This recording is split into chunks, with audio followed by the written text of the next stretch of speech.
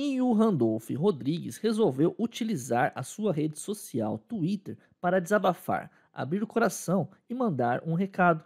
Ele disse tudo e sem papas na língua. E é sobre isso que a gente vai falar hoje. Eu sou o Léo e esse aqui é o Pé de Pano, que não é nem gado nem jumento, ele é um cavalo. E juntos vamos dar a nossa opinião isenta e imparcial sobre tudo o que acontece no mundo da atualidade.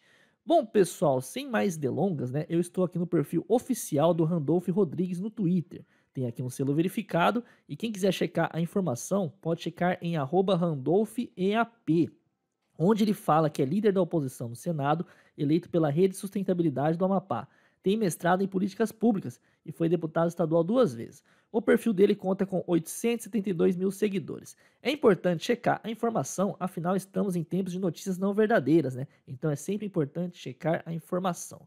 Sem mais delongas, vamos ao que interessa, que é esta postagem que ele colocou aqui na data de 20 de dezembro de 2022, onde ele disse o seguinte, abre aspas, a deputada que perseguiu com um re em punho um homem sem né, estar preparado tem 48 horas para entregar voluntariamente é, a, a, enfim, né, o que ela estava portando. Mas isso não é suficiente. A Rede Sustentabilidade também ingressou com o pedido de cassação do mandato.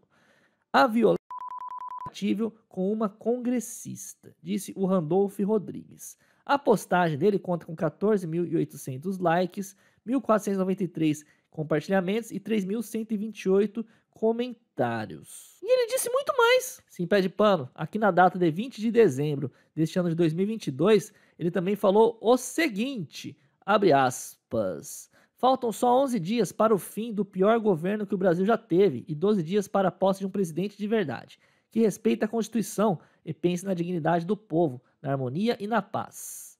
Ele disse então aqui, né? Essa postagem conta com 23 mil likes, 2.038 re, é, retweets, né, que são os compartilhamentos, e 8.694 comentários.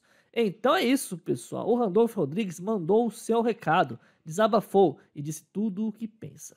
Mas e você que assiste o vídeo? Você concorda ou discorda do Randolph Rodrigues? Deixe sua opinião nos comentários, quero saber. Também é muito importante você se inscrever aqui no canal para mais vídeos como este aqui. Curta, comente, compartilhe e até a próxima.